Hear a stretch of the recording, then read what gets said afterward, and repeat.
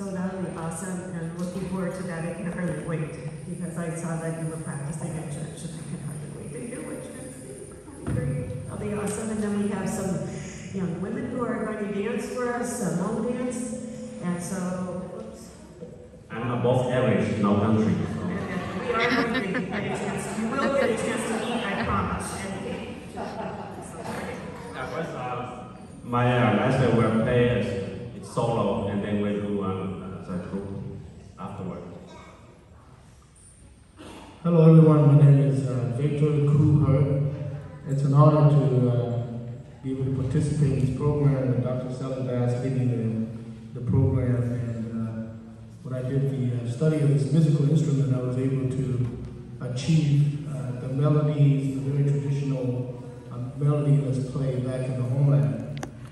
Most particularly, it's in the Laotian community or native, but it's also played in the northeast uh, Thailand as well. As you know, that uh, part of the country also at one time was part of Laos, and so they do play this instrument. I'm going to play a very special tune. This is a very uh, popular tune. Um, it's played back in the country uh, for a unique occasion, and I'm going to play this tune for Dr. Sally Bass.